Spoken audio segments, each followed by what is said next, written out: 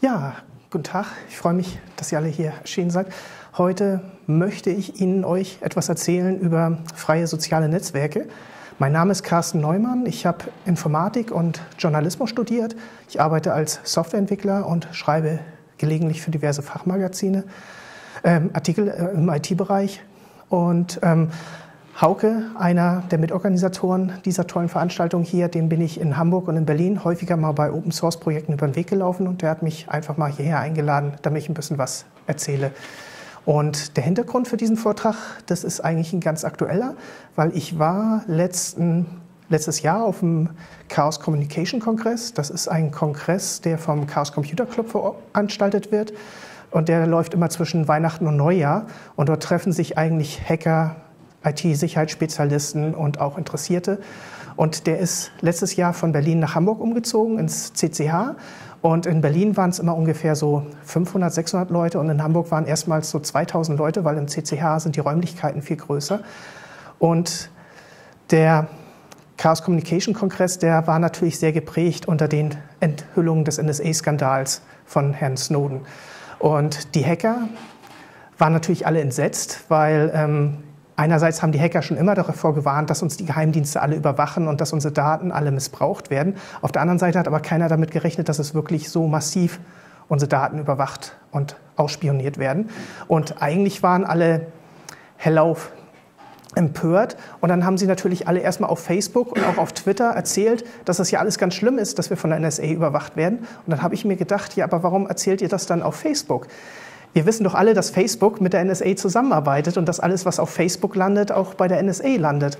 Und ähm, dann gab es ja auch einige Live-Schaltungen. Also Glenn Greenwald hat ja geredet und auch Julian Assange hat auf dem Kongress geredet und die waren per Skype dazu geschaltet.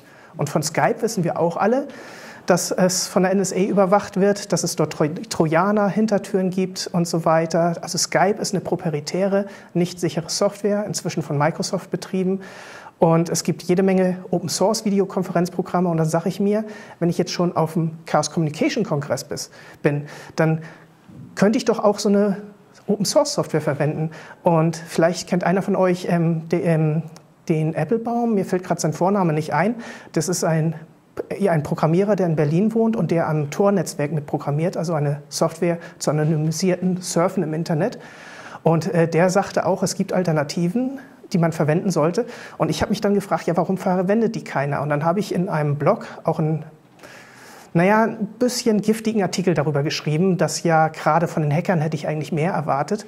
Und da gab es dann auch relativ viel Reaktion drauf. Und die Reaktionen, die kamen, waren dann, mach es doch besser, wenn du es besser kannst. Oder ähm, Glenn Greenwald ist ja nun kein IT-Spezialist und ähm, der ist kurzfristig dazugeschaltet worden und, und da, da, konnten wir nichts anderes nehmen. Und, und viele haben aber auch gesagt, ja, aber ich habe ja Freunde bei Facebook und ich, die will ich ja informieren und so weiter. Und wenn ich jetzt woanders hingehe, dann erreiche ich die nicht mehr.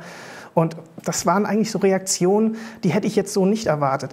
Auf der einen Seite sage ich natürlich schon, nicht jeder, der zum Chaos Communication Kongress hingeht, der ist, weiß auch über die ganze Problematik Bescheid. Aber ich habe wirklich mit Leuten geredet, die wirklich Informatik studiert haben und die auch als Hacker arbeiten, die im Open-Source-Bereich tätig sind, von denen hätte ich eigentlich mehr Interesse und Akzeptanz erwartet. Ihr dürft jederzeit Fragen stellen. Nur, ja? Ich wollte nur einen Vorschlag machen. Einfach, es gibt eine, Sammlung über Alternativen, die nennt sich Prison Break. Ja. Das ist einfach nur die Webseite, so dass alle, wenn irgendwie jemand. Okay, okay. Äh, das gibt es eine Webseite, die Alternativen auf, aufzeigt. Ja. So Alternativen, äh, wenn man Android, um äh, frei, frei zu kommunizieren, zum Beispiel äh, Alternativen zu Skype, zu Facebook, äh, äh, zu Twitter und so weiter. Also sehr tolle Seite. Das heißt einfach nur, man, äh, man will halt Prison in Anlehnung an dieses Überwachungsprogramm. Überwachungsprogramm, das zu zerstören. Ja. Genau. Ja, äh, genau. sehr toller Einwand. Also je nachdem, welches Betriebssystem ich hier habe, kann ich mir hier auswählen, was ich nehmen kann. Gehe ich jetzt zum Beispiel hier mal auf Android und dann gucke ich hier hin und dann soll ich zum Beispiel F-Droid verwenden statt zum Beispiel den Google Play Store. Oder wenn ich hier mal runtergehe, boah, statt Skype. Statt, statt Skype Jitsi. Jo. Und hier, ich kann zum Beispiel Kmail verwenden statt Gmail. Äh, ja, hier Skype ist eins von den bösen Programmen und hier irgendwo kommen die guten Programme. Ja, hier zum Beispiel. Ne? Da, läuft anscheinend gerade nicht unter Android, aber ein sehr guter Einwand. Ähm, genau das ist die Sache. Es, es gibt für alles gibt es eine Open Source Alternative, wo halt Experten mal drüber geguckt haben. Natürlich kann ich nicht sagen, dass diese Open Source Alternativen besser sind, ähm, dass sie sicherer sind. Die Sache ist nur so, wenn dort Hintertüren drin sind, dann fallen sie irgendwann auf. So wie bei diesem ähm, SSL-Skandal, den wir auch eben gerade hatten, äh, der ähm, mit diesem Heartbleed. Irgendwann fällt es jemandem auf und dann wird es behoben. Ähm, es gibt da eine Geschichte und zwar Windows war ja auch lange Zeit ein Closed-Source-System. Und dann hat Windows irgendwann mal seinen Code geöffnet und hat gesagt, damit wir jetzt mehr Vertrauen haben, dürfen Regierungen und auch große Firmen dürfen mal in unseren Quellcode reingucken. Und über irgendeinen komischen Kanal ist dann dieser Quellcode auch in der Tauschbörse gelandet und dann haben halt alle mal drauf geguckt. Und dann haben die festgestellt, dass in der Windows-Version, dass zum Beispiel die BMP-Dateien, das ist ein Grafikformat, dass die nicht richtig verarbeitet werden und dass dieser Fehler in jeder Windows-Version drin ist und dass das nie jemandem von Microsoft aufgefallen ist. Und sobald die Hacker das wussten, haben sie natürlich dann Viren dafür programmiert und dann hat Microsoft das auch behoben. Vielleicht erinnert sich noch jemand an den Stuxnet-Skandal. Da ist über die USB-Schnittstelle konnte man Windows relativ einfach verseuchen. Sowas ist theoretisch unter Linux auch möglich, aber schwer denkbar, weil halt diese Treiber verteilt auf der ganzen Welt programmiert werden. Und ich könnte mir jetzt schon vorstellen, dass ähm, auch Leute von der NSA an Linux mit ins, äh, programmieren, aber die müssen ja ihren Quellcode auch wieder öffentlich für alle sichtbar hochladen. Und Experten aus Indien oder aus China, die werden das ganz genau kontrollieren, was diese NSA-Leute da programmiert haben. Und wenn die da irgendwelche Hintertüren eingebaut haben, dann fällt das irgendwann auf. Und eigentlich können wir nur Open-Source-Programmen richtig vertrauen.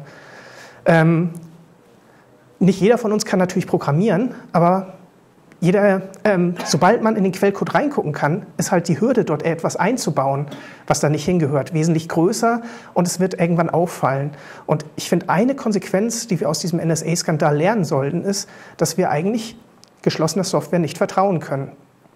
Und ich möchte heute euch einen Vortrag halten. Also als Konsequenz mit diesen Gesprächen mit diesen anderen Experten äh, ist mir gesagt worden, ich sollte doch einfach mal die Leute mehr über die Alternativen aufklären und dann würde sich auch ein anderes Klima entwickeln und dann würden auch mehr Leute kritisch auf Facebook zugehen.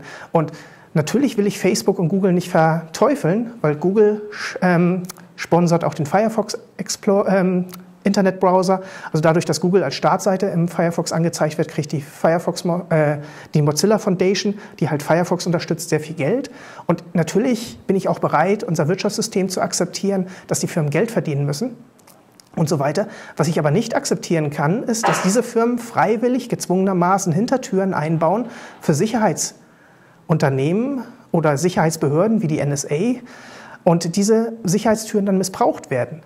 So gab es, ähm, gibt es ja auch gewisse Abhörschnittstellen, die müssen zum Beispiel Telekommunikationsanbieter von vornherein einbauen. Und es gab schon Vorfälle, dass diese Abhörschnittstellen auch von Kriminellen missbraucht worden sind. So hat die Mafia sich mal Zugriff verschafft auf diese Abhörschnittstellen und auch in den USA sind schon diverse dunkle Kreise rumgegangen. Also es ist des häufigeren mal vorgekommen, dass zum Beispiel Sicherheitskräfte ihre Töchter beobachtet haben über diese Sicherheitsschnittstellen und so weiter. Also dass sie diese Daten missbraucht haben.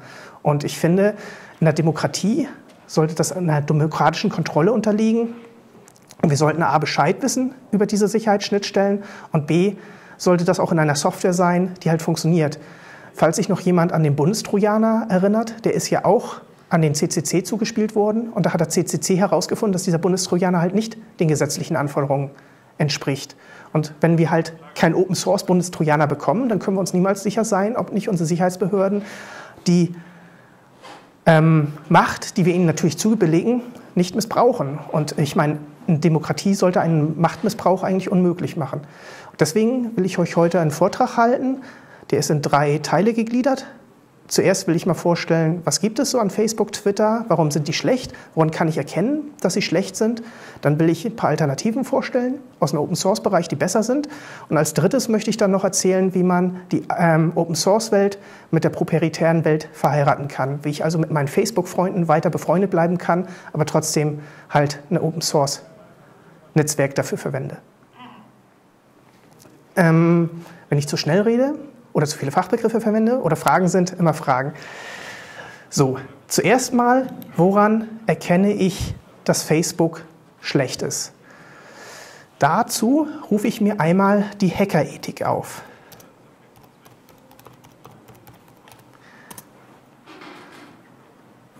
So.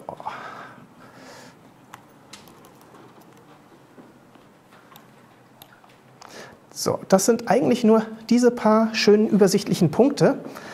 Und da fällt mir sofort ins Auge der Punkt 3, misstraue Autoritäten, fördere Dezentralisierung. Facebook läuft auf einem zentralen Server. Wenn dieser Server ausfällt oder Facebook pleite geht und den Server abschaltet, dann ist alles weg. Wir kommen nicht mehr an unsere Freunde ran, wir kommen nicht mehr an unsere Daten ran. Wenn ähm, Facebook gehackt wird, kann ein Hacker alles raustragen, weil es alles auf einem Server ist. Na, es ist nicht wirklich auf einem Server, aber in einem Rechenzentrum. Und die sind ja alle miteinander verbunden. Und das ist natürlich schlecht für die Ausfallsicherheit. Natürlich will Facebook das nicht verteilen, weil die wollen ja gerne den Zugriff auf diese Daten haben und diese Daten auswerten. Und sie wollen nicht, dass andere auch von diesen Daten profitieren. Ähm, aber Dezentralisierung ist eigentlich die bessere Methode. Unser Internet ist dezentral. Wenn jetzt also mal ein Unterseekabel ausfällt oder so weiter, dann suchen sich die Daten halt einen anderen Weg. Die gehen dann halt über andere Unterseekabel. Ähm, ursprünglich ist ja das Internet vom Militär entwickelt worden, basiert auf dem ARPANET. Man wollte halt auch äh, unter Atombombenbedingungen weiterhin kommunizieren können. Deswegen können halt ähm, in diesem Netzwerk die Daten verschiedene Wege nehmen. Und wenn wir halt verschiedene Server haben, weltweit verteilt, dann macht es halt nichts, wenn ein Server ausfällt. Wir können halt weiter kommunizieren. Und der Open Source Ansatz ist eigentlich immer dieser dezentrale Ansatz. Ich verteile das Ganze auf verschiedene Server und verbinde diese Server miteinander und die machen dann einen Datenaustausch. Und deswegen sind die Open Source Netzwerke, sage ich mal, in Ausfallsicherheit und Dezentralisierung Netzwerken wie Facebook oder Twitter immer weit überlegen, weil die halt serverbasiert sind. So, dann gucken wir mal weiter, was wir hier finden. Und da gibt es hier zum Beispiel den Punkt, öffentliche Daten nützen, private Daten schützen. Bei Facebook bin ich nicht der Kunde. Ich bekomme Facebook den Service umsonst zur Verfügung gestellt und Facebook nimmt dafür meine Daten und wertet sie für Werbezwecke aus. Und die Werbeindustrie ist der eigentliche Kunde. Ich zahle also mit meinen Daten dafür, dass ich Facebook nutzen darf. Jetzt habe ich ja schon erzählt, warum das nicht so gut ist. Und wenn ich halt Open-Source-Netzwerke verwende, dann muss ich mir halt überlegen, wie wollen wir das Ganze finanzieren.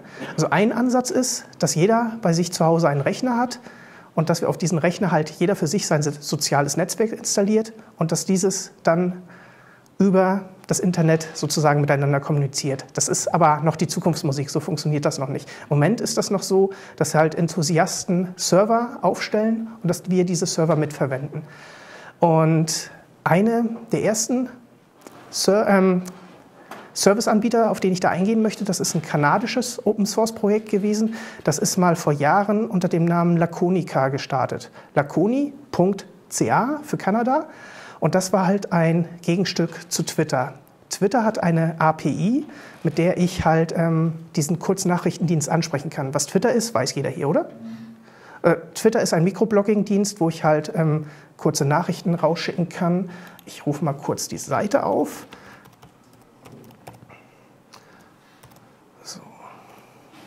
Mir fällt jetzt gerade nichts anderes ein, außer die Piratenpartei. Oder? Ja, die sind nämlich bei Twitter aktiv, obwohl ich natürlich auch die CDU nehmen können. Ne? ähm, okay, also hier postet halt die Piratenpartei bei Twitter. Das sind halt so kurze Nachrichten, ein paar Links drin, ein paar Hashtags. So, und jetzt hier gibt es aber auch Netzpolitik. Die haben hier was über Quadrocopter gepostet. Okay, also das ist ein Dienst, wo ich halt solche Kurznachrichten posten kann. Und die Sache ist ja die, wenn ich jetzt einen Blog-Eintrag schreibe oder irgendwas anderes, dann muss ich halt viel schreiben. Und Twitter schlug halt ein wie eine Bombe, weil ich da halt nur kurz was hinschreibe und schwupps ist es weg. Und dann kann man das weiterverteilen, retweeten oder man kann darauf antworten. Und dann kann man hier kommunizieren, kann man alles machen. Laconica war das Open-Source-Projekt dazu die haben halt die Twitter-API genommen und haben sie nachprogrammiert. Und sie lief genauso. Und äh, vielleicht erinnert sich noch der eine oder andere dran, es gab so twitternde Blumentöpfe, die haben halt gesagt, ich brauche Wasser. Oder die twitternde Kaffeemaschine, die hat gesagt, ist noch Kaffee da, ist kein Kaffee mehr da. Und ähm, die haben halt diese Schnittstelle, die API verwendet und konnten direkt auf Twitter zugreifen. Und das konnte Laconica alles auch. Dann haben sie sich aber umbenannt in Identica und als Identica schlugen sie dann richtig ein. Es gab dort halt Gruppen, die haben dort über Open Source Projekte natürlich diskutiert. Es gab, jede Linux-Distribution hatte dort ihre Gruppe. Die GNU-Leute waren dort sehr aktiv, die Open Source Szene in den USA und alle haben mal miteinander kommuniziert. Und dann gab es aber einen Nachteil. Es gab halt nur diesen einen Server, Identica. Es gab noch ein paar andere Server, weil es ja ein verteiltes Netzwerk war, aber die hat eigentlich kaum jemand verwendet oder beachtet.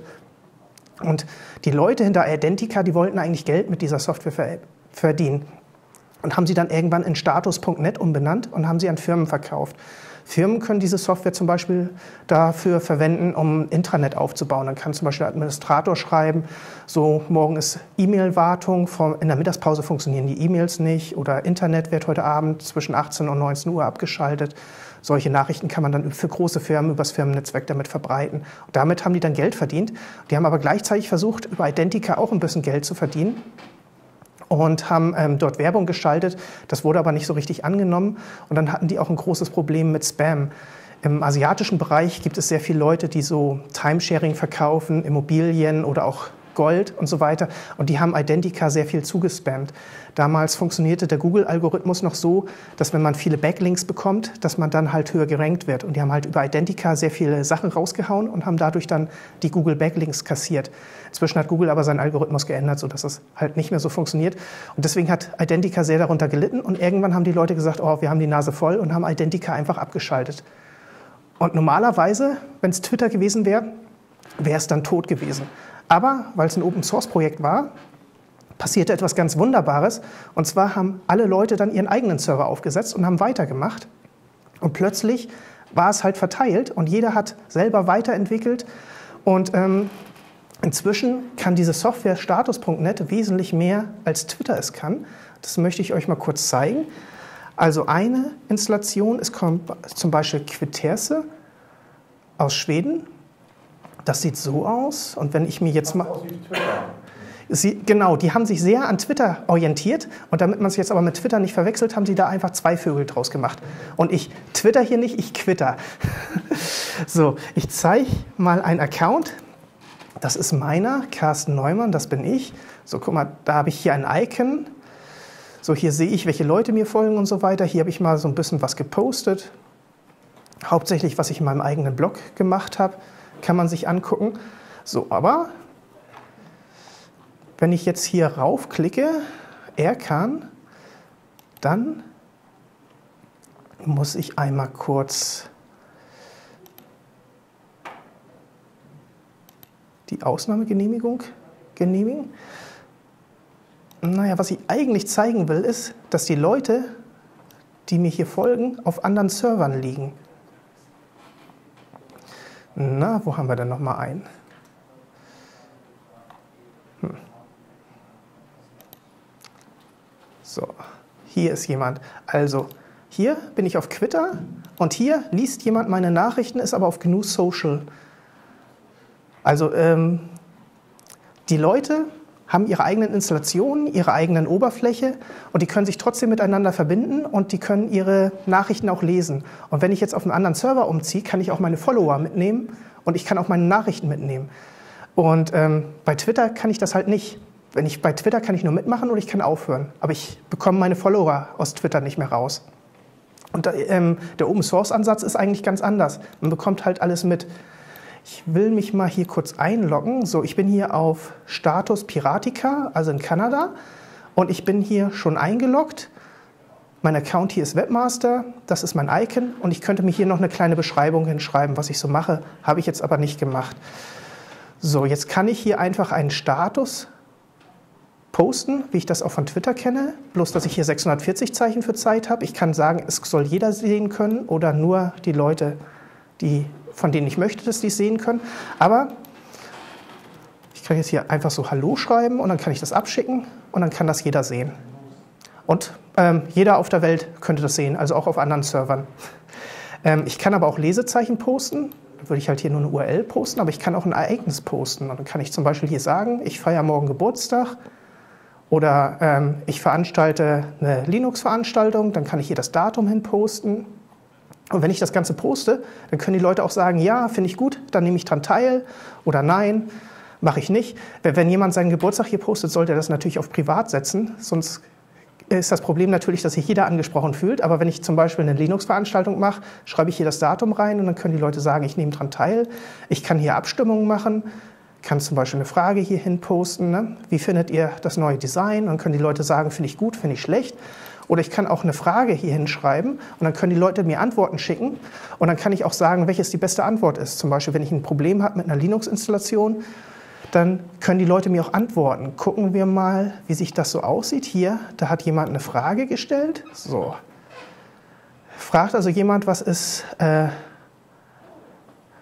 was ist das Ziel des Lebens? Und hier die Antwort 42 hat ist bis jetzt die beste Antwort. Ansonsten antworten die Leute hier so ein paar andere Sachen halt. Ne? Oder gucken wir uns mal eine andere Sache an. Eine Abstimmung. Hier ist abgestimmt, welches ist äh, deiner Meinung nach das gefährlichste Land in der Welt. Und dann konnte man hier abstimmen. Und naja, kann ich halt wesentlich mehr machen. Eine andere Sache, die hier noch möglich ist, ist, dass es sogenannte Gruppen gibt. Ich kann zum Beispiel eine Gruppe Linux aufmachen und ähm, dann folge ich der Gruppe. Und alles, was in der Gruppe geteilt wird, das wird dann auch in meine Timeline übernommen.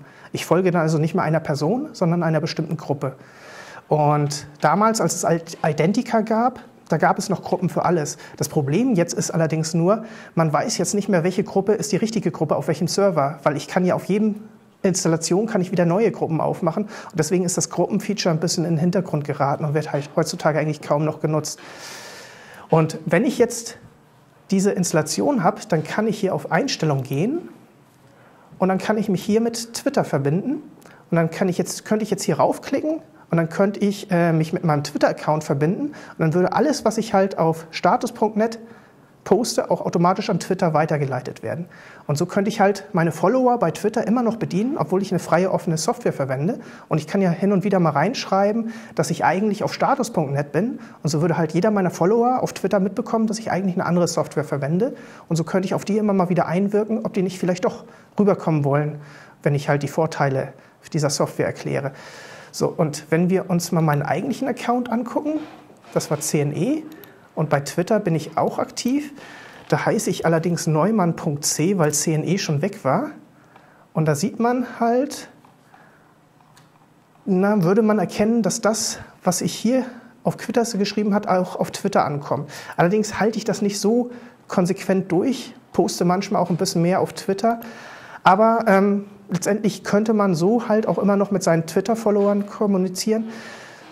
Und eine Sache sollte man dabei möglichst beachten, dass man unter beiden Netzwerken denselben Namen hat, weil es gibt ja so den sogenannten Retweet, also dass ich jemanden das, was jemand gesagt hat, nochmal poste. Und dann wird erwähnt, von wem das ist. Und wenn ich verschiedene Namen verwende, dann passt das natürlich nicht mehr zusammen in den Netzwerken. Und das kann dann Verwirrungen führen, aber ist eigentlich eine Nebensache. Also eigentlich spricht nichts dagegen, das zu nehmen. Und wenn ihr das mal ausprobieren wollt, kann ich euch Quiterse empfehlen, weil das ist ein Server, der ist frei und offen und da kann man sich einfach kostenlos anmelden und sieht eigentlich auch fast genauso aus wie Twitter und funktioniert eigentlich auch genauso. So, eine andere Sache ist natürlich Facebook.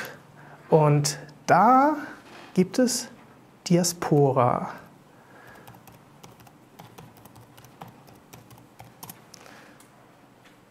So sieht die Startseite aus. Diaspora hat den folgenden Hintergrund. Es gab mal vor Jahren eine Verwerfung mit Facebook. Da ging es irgendwie um Datenschutzeinstellungen, die Facebook eigenmächtig geändert hat. Und da haben sich im Open Source Lager einige Leute gebildet und haben gesagt, das wollen wir nicht weiter hinnehmen. Wir brauchen endlich ein freies ähm, soziales Netzwerk auch auf einer Open Source Basis, das halt den Anforderungen von Open Source genügt. Also Dezentralisierung, dass sich jeder seine Daten frei mitnehmen kann, dass private Daten nicht ausgenutzt werden und so weiter. Und ähm, da, hat, da haben die zu Spenden aufgerufen und haben innerhalb von kürzester Zeit, glaube ich, über 100.000 zusammenbekommen. Und haben sich ein paar Leute zusammengesetzt und das, was dabei rausgekommen ist, ist Diaspora. Gucken wir uns mal einen Account an, zum Beispiel meinen. Nein, das war falsch. dann sieht das so aus. Ich habe hier wieder ein Icon und ich kann hier zum Beispiel auf YouTube verweisen und dann kann ich mir so YouTube-Videos angucken. Oder ich kann hier kleine Bilder posten oder ich kann auch von anderen Leuten was reposten und so weiter. Und wenn ich hier auf so Artikel verweise, werden hier unten auch so kleine Snippets angezeigt, wie man das auch von Facebook her kennt. Und, und wie man, also wenn man Facebook kennt, sieht man schon, dass das hier halt sehr aufgeräumt ist. Es gibt hier halt die Seitenleiste. Wenn ich eingeloggt bin, würde hier noch ein bisschen was über mich stehen, wo mein Blog ist und so weiter. Das sehe ich allerdings nicht, wenn ich nicht eingeloggt bin. Und hier sieht man die Nachrichten. Wer von euch Google Plus kennt, wird sehen, dass Google Plus sehr ähnlich aussieht und da gibt es halt Diskussionen. Also Diaspora war noch vor Google Plus da und es gibt so Gerüchte, dass sich Google ein bisschen an Diaspora orientiert hat im Design her. Und ähm, ich log mich mal ein und dann zeige ich mal, was man mit Diaspora alles machen kann.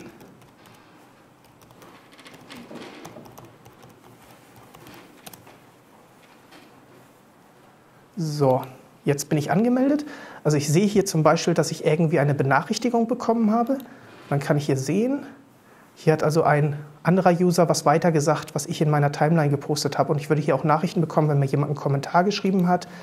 Und ähm, jemand könnte mir auch persönliche Nachrichten schicken, hat aber gerade keiner gemacht. Ich kann hier auch sehen Erwähnungen. Da kann ich zum Beispiel sehen, wenn jemand was gemacht hat. Hier haben also Leute in anderen Artikeln haben mich zum Beispiel erwähnt. Ich kann meine Aktivitäten anklicken, dann würde ich sehen, worüber ich als letztes diskutiert habe. Leider habe ich in letzter Zeit wenig diskutiert, deswegen wird hier wenig angezeigt. Und wenn ich jetzt auf mein Profil gehe, dann kann ich auch sehen, was ich so gemacht habe. Und wenn ich einen Artikel posten möchte, eine Frage, dann kann ich hier das so genau hinschreiben. Und ich kann jetzt auch sagen, wer soll es sehen? Öffentlich, dann kann es das ganze Internet sehen oder nur meine Familie, meine Freunde, meine Arbeitskollegen, Bekannte. Und diese Gruppen hier kann ich mir auch selber definieren. Und wenn ich jetzt halt jemanden folge, dann sage ich das, der kommt in die Gruppe Familie rein oder der kommt in die Gruppe öffentlich rein. Und wenn ich öffentlich mache, dann kann es halt jeder sehen. So, ich kann hier zum Beispiel auch Umfragen machen. Kann ich wieder eine Frage stellen, dann können die Leute bestimmte Sachen anklicken. Ich kann Fotos hochladen. Und ich kann bestimmte Artikel zum Beispiel posten, wenn ich, nein, das wollte ich nicht, wenn ich zum Beispiel mal wieder im Heise Newsticker bin.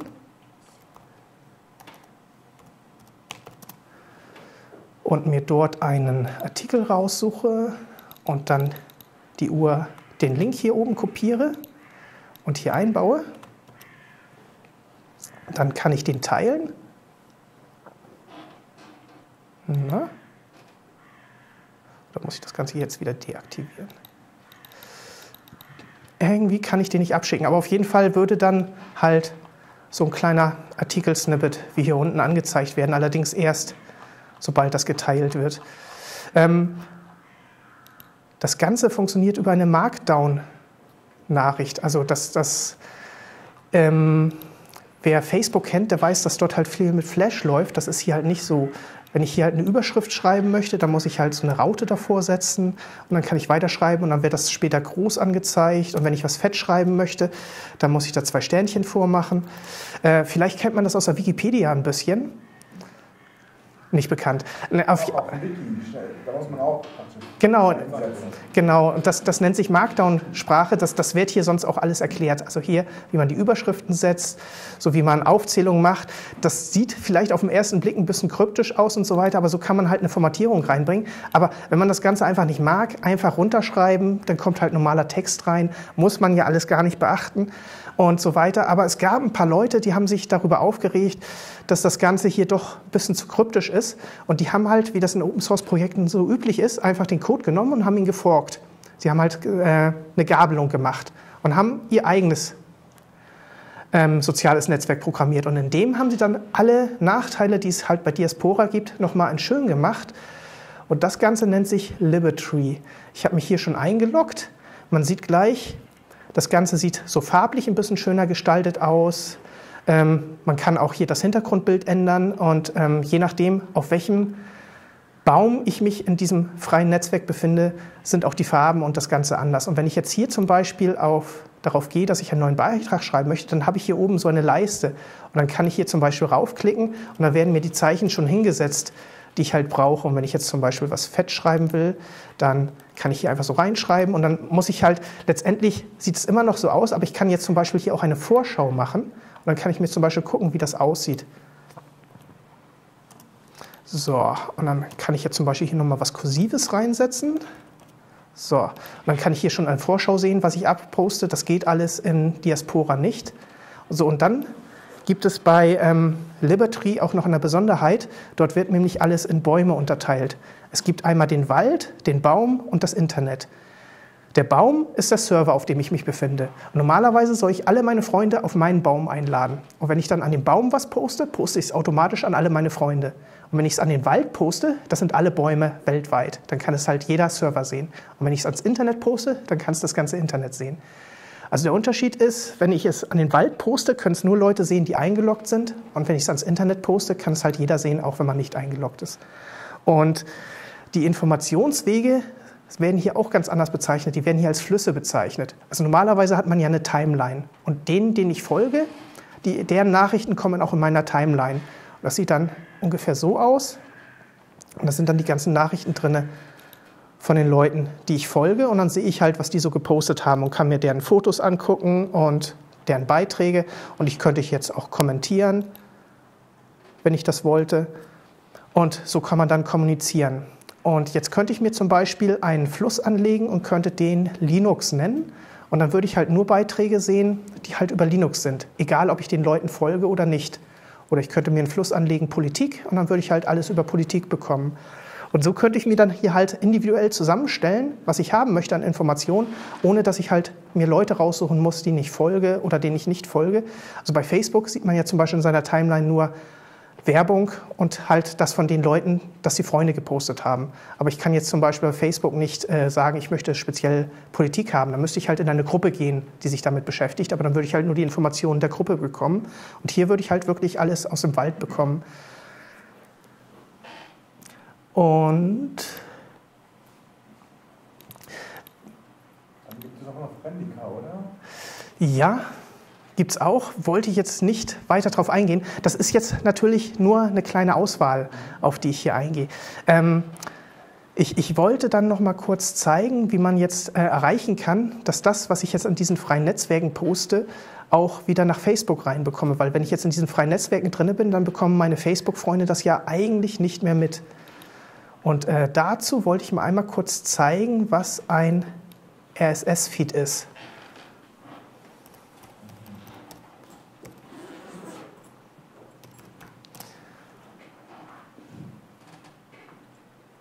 Nein, das wollte ich nicht.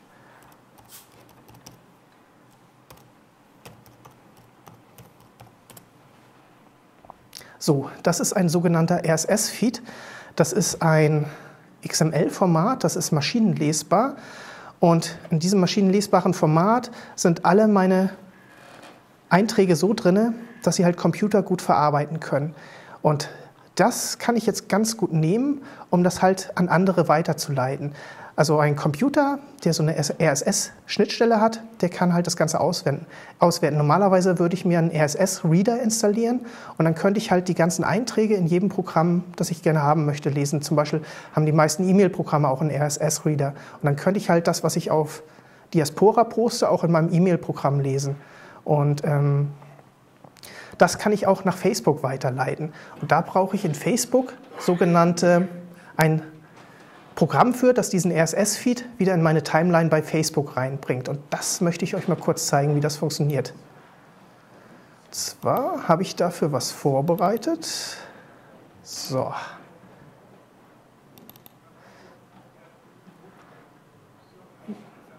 Ui, jetzt startet sich hier GIMP.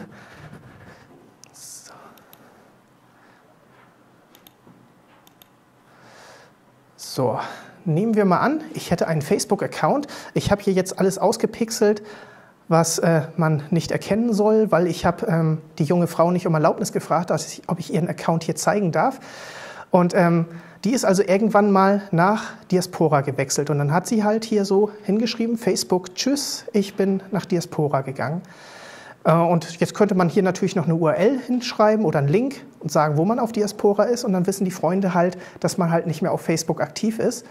Und ähm, man kann ja, bei Facebook kann man sich diese Bilder beliebig setzen. Und dann, dann, wissen halt die Leute, es gibt erstens A noch was anderes und B, dass ich weg bin. Aber jetzt sollen die natürlich trotzdem immer noch was mitbekommen, was ich poste. Und dann muss ich bei Facebook mir ein bestimmtes Programm installieren. So, und da gibt es zum Beispiel einmal RSS Graffiti.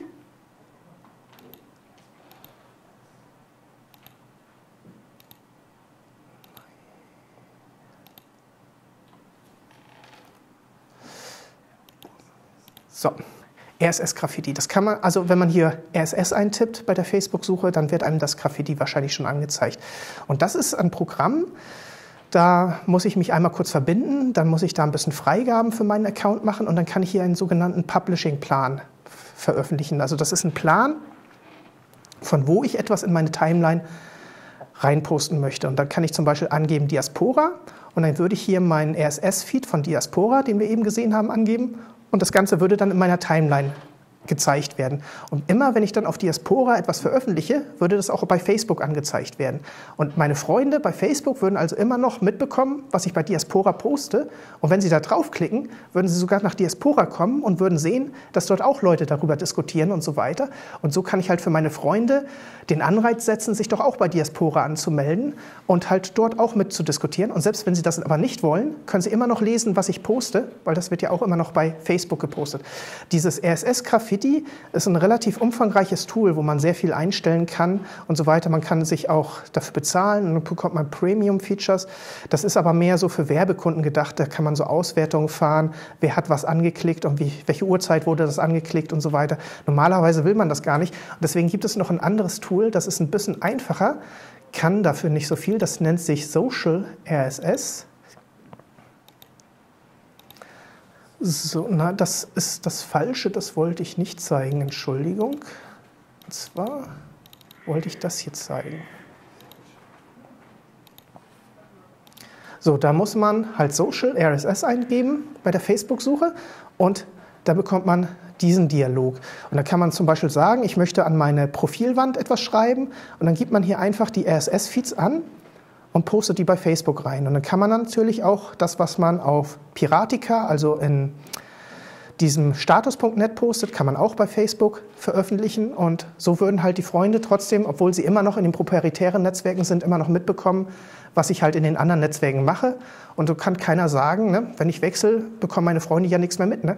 Man soll ja die Tür auch nicht zuhauen, sondern man soll Spuren hinterlassen. Ich meine, man will ja gelesen werden, man will mit seinen Freunden kommunizieren, man will seine Urlaubsfotos zeigen oder was man so in sozialen Netzwerken macht. Man will sagen, ich bin gerade bei den Linux, Kieler Linux-Tagen im Vortrag und so weiter und der Vortrag ist toll und super oder auch nicht. Ne? Und sowas würde ich ja in meine Timeline veröffentlichen und dann ähm, kann ich das halt von diesen äh, freien Netzwerken verteilen, auch in die proprietären Netzwerke hinein. Und wenn die Leute draufklicken, dann kommen sie ins freie Netzwerk rein und sehen halt, dass das auch geht und so weiter. Und ähm, naja, letztendlich will ich nicht sagen, wir sollen alle freie offene Software verwenden, aber ich bin doch der Meinung, wenn man zum Beispiel ein Open-Source-Projekt betreibt, dann macht sich das nicht so gut, wenn man das dann halt nur über Twitter kommuniziert, weil Klar, als Open-Source-Projekt will man ja auch andere Open-Source-Projekte fördern und weiterverteilen und man will ja auch den Gedanken, also die Hackerethik weitervertreiben von dezentraler Software. Ähm, private Daten sollen geschützt werden und so weiter. Und wenn ich dann halt einen proprietären Dienst dazu benutze, um meine Release-Notes zu verteilen oder meine Updates und so weiter, dann finde ich, ist das immer nicht so richtig durchdacht. Und die freie Software bietet da eigentlich jede Menge Schnittstellen, dass man das verwenden kann und dass man die Welten verheiraten kann dürfen mir gerne noch Fragen stellen. Oder habe ich euch alle so erschlagen? Eine Frage. Äh, ich, ich glaube, das Mikro soll ganz gerne ja. verwendet werden. Sonst haben wir hinterher auf dem Band eine lange Pause und dann eine clevere Antwort. äh, ansonsten werde ich einfach die Frage wiederholen, wenn das. Das wäre die Alternative, genau.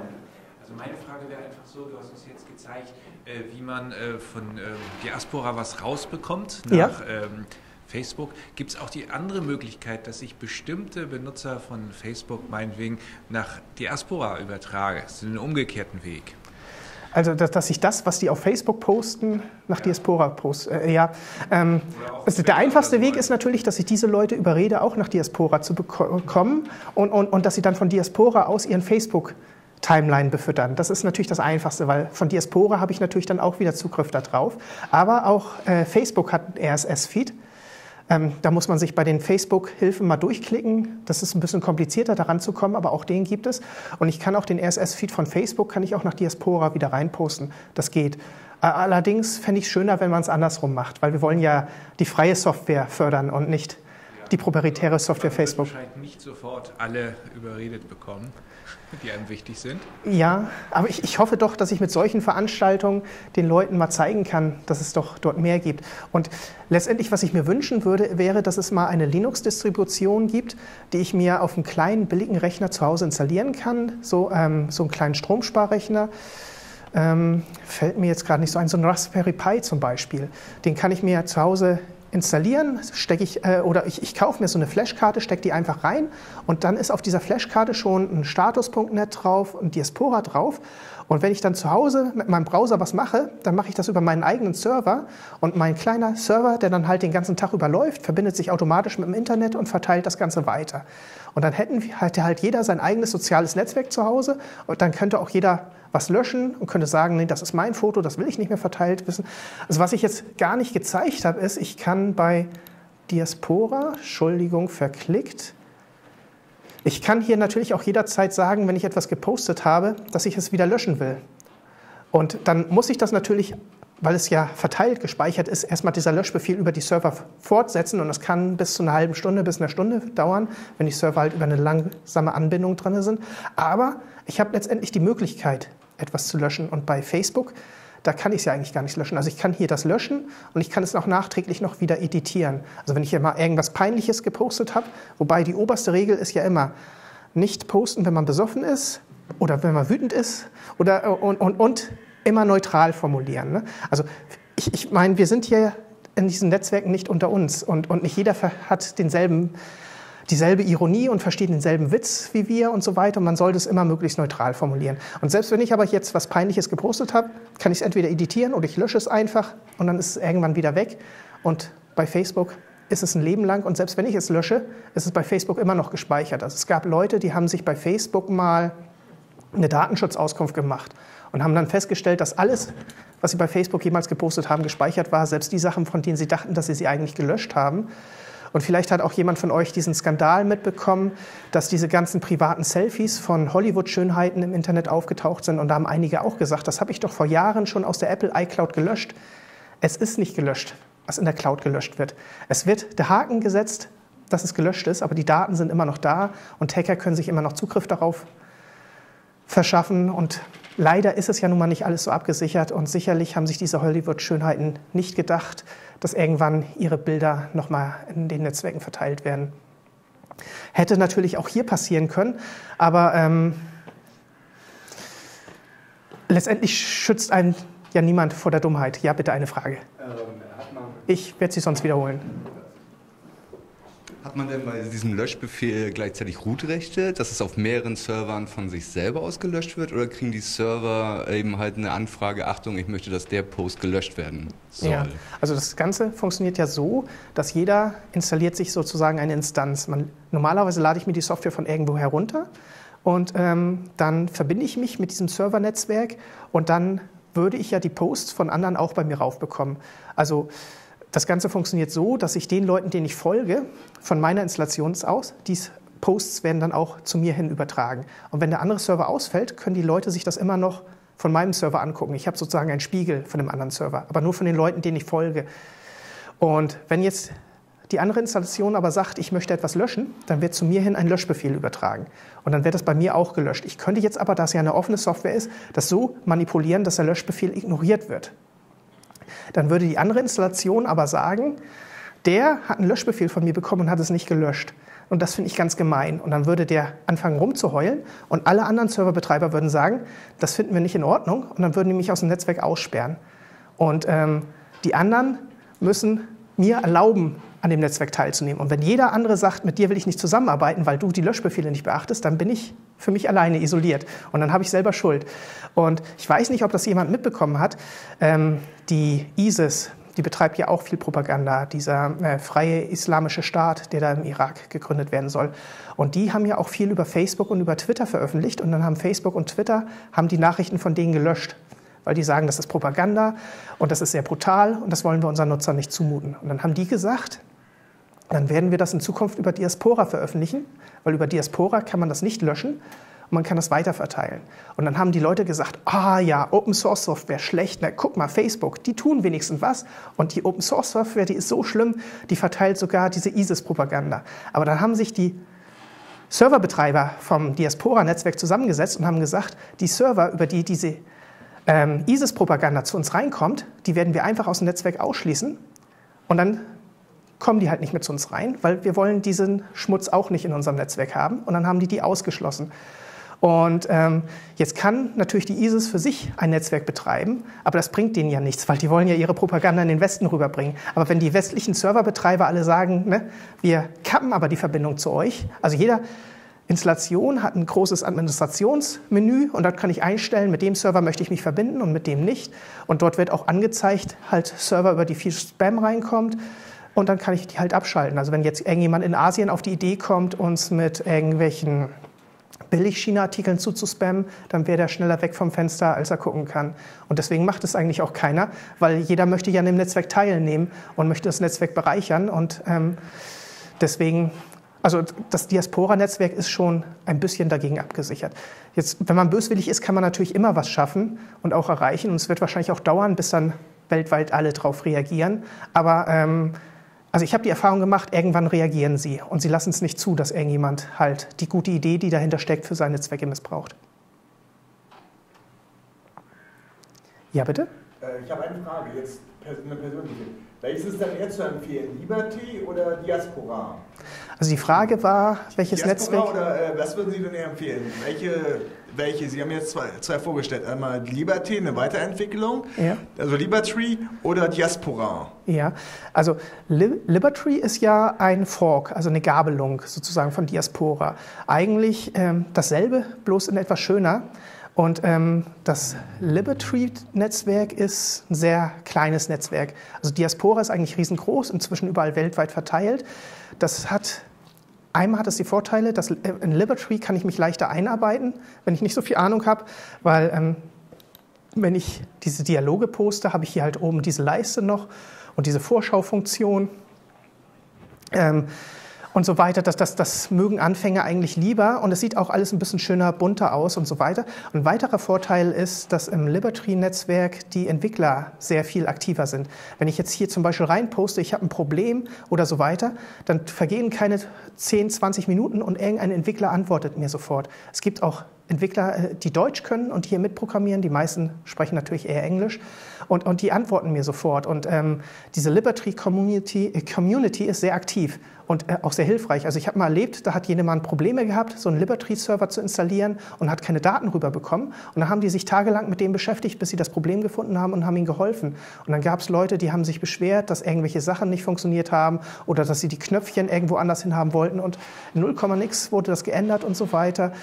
Das, das, das ist alles sehr schön hier. Allerdings habe ich auch immer so das Gefühl, das ist irgendwie immer dieselbe Handvoll Leute, die hier aktiv ist. Und äh, in Diaspora habe ich natürlich eine wesentlich größere Reichweite. Also in Diaspora, da gibt es halt ähm, aus ganz unterschiedlichen Ländern Gruppen, die da aktiv sind. Auch wieder überwiegend Open Source Projekte, aber das liegt ja auf der Hand. Wer Open Source verwendet, verwendet auch gern Diaspora. Aber ähm, wer sich zum Beispiel mal mit jemandem in Indien über, unterhalten will über die Nutzung von Open Source in Behörden und so weiter. Also der wird in, sofort irgendwelche Ansprechpartner in Indien oder auch in Südamerika finden, wo halt Open Source wesentlich mehr eingesetzt wird als bei uns. Und ähm, eine Sache ist natürlich auch so, dass man halt leicht in diese Filterblase reinkommt. Also auf Diaspora sind natürlich nur Leute aktiv, die auch Open Source unterstützen. Also jeder findet dort das iPhone doof und Apple findet man doof und Microsoft macht schlechte Witze über Microsoft und Open Source Software wird über den Klee gelobt. Ähm, wenn man kritische Diskussionen starten will über Diaspora, dann kann man sich zum Beispiel über den Waffenbesitz unterhalten. Da gibt es in den USA zum Beispiel viele Leute, die sagen, nee, das ist unser freies Menschenrecht, eine Waffe zu haben. Und dann kommen natürlich sofort die Schweizer und die Deutschen und sagen, nee, nee, nee, nee, nee, in der Demokratie muss nicht jeder eine Waffe haben und so weiter, Gewaltenteilung und so weiter. Und ähm, auch so bei der amerikanischen Außenpolitik kann man hitzige Diskussionen führen. Aber wenn man sagt, äh, Microsoft ist doof, dann kommen sofort alle und applaudieren. Also ich habe noch keinen erlebt, der irgendwie Microsoft im Diaspora-Netzwerk verteidigt hat. Klar, verstehe.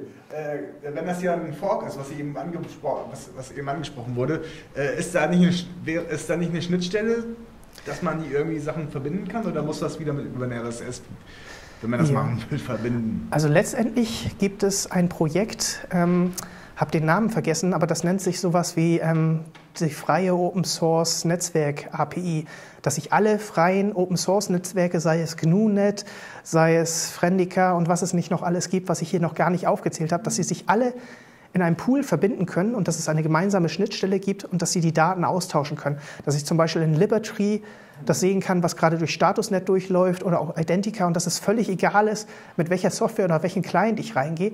Aber das funktioniert im Moment leider noch nicht so. Liberty hat den Ansatz, dass sie über dieses XMPP-Protokoll gehen, dieses Jabber-Protokoll. Das ist ein einfaches Open-Source-Protokoll, mit dem man leicht Daten austauschen kann. Und Diaspora verwendet das aber nicht. Und deswegen haben die da noch leichte Verbindungsschwierigkeiten. Aber in der Zukunft ist es absehbar, dass es egal ist, in welchem Netzwerk ich bin und ich muss dann nur noch sagen, was ich haben will. Und dann kann ich aus anderen Netzwerken das einfach in meiner Timeline durchlaufen lassen und da gibt es ja auch schon Ansätze, die das verbinden. Äh, noch, eine, noch, eine, letzte Frage. Dann ist ja, wenn Liberty äh, über Java funktioniert oder X, XMPP als Schnittstelle verwendet, könnte man ja den Account auch dann äh, über die Kommunikation für den Account benutzen und dann über, über Jitsi oder Pitkin dann praktisch. Äh ja, also man, man könnte zum Beispiel dann einen Jabba-Account sich einrichten und immer, wenn jemand halt was in meine Timeline posten würde, würde ich das auch über Jabba mitbekommen. Also wenn ich das gerne haben möchte, könnte ich das so machen. Ach, cool. Und ich könnte halt auch über Jabba wiederum was in Liberty reinposten. Und wenn ich dann meinen Liberty mit dem Facebook verbunden habe, könnte ich dann über Jabba sozusagen direkt was auf Facebook posten. Und so kann ich natürlich auch sehr gut Zensur umgehen. Ähm, vielleicht hat das mal jemand mitbekommen. In der Türkei gab es ja mal jemanden, der hat so regierungskritische Sachen gepostet und dann hat die Türkei einfach seinen Twitter-Account abgestellt.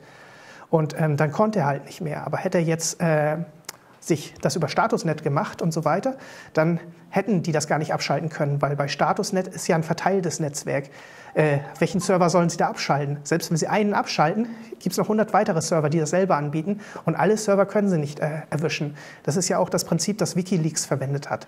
Als sie den Wikileaks-Server abgeschaltet haben, haben das einfach 100 Server gespiegelt und äh, wenn die dann in Russland oder in China stehen, dann hat der Westen halt keinen Zugriff mehr drauf und dann können die das auch nicht erreichen. Und ähm, Natürlich kann man so Propaganda verteilen, aber man kann sich auch immer informieren, was hat die andere Seite so gepostet. Und das ist halt nicht so einseitig, wie unsere Presselandschaft teilweise ist. Und Ziel ist es ja, irgendwann ein freies, anonymes Netzwerk zu schaffen, wo ich halt, wo man erstmal nicht mehr nachvollziehen kann, wer war es und auch wo man die Nachricht nicht mehr löschen kann. Also dass halt jeder die Zensur unterlaufen kann und dass es dann sozusagen keine staatliche Zensur mehr gibt, dass jeder halt frei seine Nachrichten ins Internet stellen kann.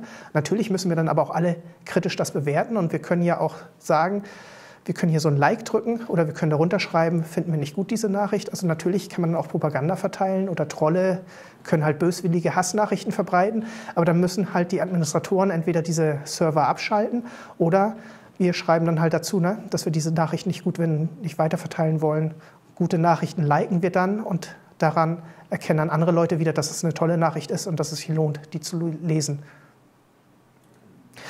Ein anderer Vorteil, den Liberty auch noch hat, wenn ich hier die Suche verwende, dann habe ich eine Volltextsuche, die habe ich in Diaspora nicht. Und zwar kann ich hier nämlich in Beiträgen und auch in Kommentaren suchen. Und ähm, so kann ich halt wesentlich gezielter auch Sachen wiederfinden. Und Letztendlich möchte ich aber empfehlen, probiert es alles aus. Installiert es euch oder, oder richtet euch einen Account ein, ähm, nutzt eine Suchmaschine, es gibt irgendwo Demo-Installationen oder, oder am besten natürlich ist es immer noch, wenn man das auf seinem eigenen Server selbst installiert und dann einfach am Teil Netzwerk teilnimmt. Also jede weitere Installation macht das Netzwerk ausfallsicherer und ähm, man bekommt etwas und dann gibt man ja auch wieder was zurück. Und äh, Liberty verfolgt ja diesen Ansatz, dass sich halt jemand, der Ahnung hat, installiert sich einen Baum und dann lädt er alle seine Freunde auf den Baum ein. Und wenn er dann mit dem Baum kommuniziert, hat er auf jeden Fall alle seine Freunde erreicht. Und dann kann man noch mit dem Wald reden und dann kann man halt die ganze Welt erreichen, wenn man möchte. Und ähm, jeder Freund, den ich auf meinen Baum einleite, äh, einlade, ist dann sozusagen ein neuer Ast an dem Baum. Und dann kann der Baum wachsen und ähm, so soll halt der Baum der Freiheit wachsen und so ist dieses Netzwerk entstanden.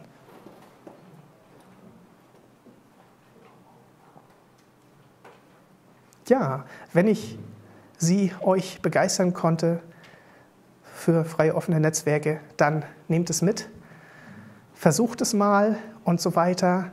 Ich, ich, ich will nicht sagen, alle Facebook verlassen und so weiter. Das, das wäre vielleicht auch nicht das Richtige, aber ruhig mal über offene Netzwerke auch die anderen mit befüllen und so weiter. Es hat eigentlich nur Vorteile und es macht Spaß, sich damit zu beschäftigen und man lernt auch viel offenere, neue, freundliche Leute kennen. Ich meine, bei Facebook ist man ja doch teilweise also die letzten Freundschaftsanfragen, die ich bei Facebook angenommen habe, die haben mich alle gefragt, bist du beruflich hier oder privat? Und da merkt man schon, die wollen einem alle irgendwas verkaufen und so weiter. Ne? Und das, das fand ich schon alles ein bisschen nervig.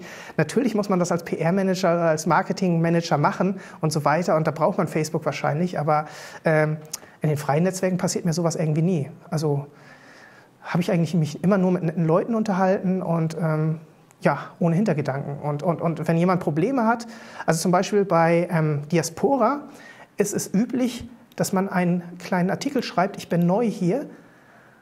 Und dann mal gucken, ob ich das finde. Ich glaube, new hier heißt der Hashtag. So, oder auch nicht.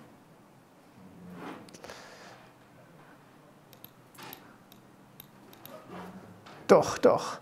Jetzt äh, dauerte nur etwas. Okay, also wenn man das erste Mal da ist, dann verwendet man diesen Hashtag New hier.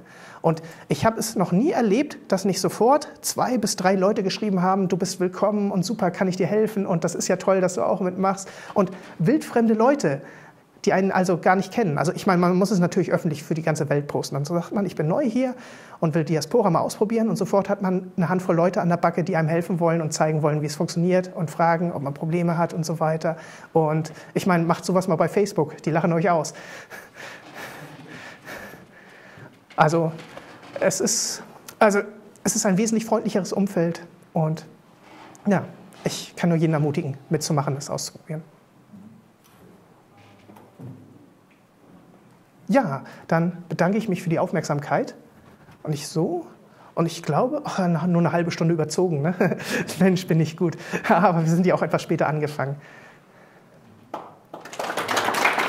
Vielen Dank.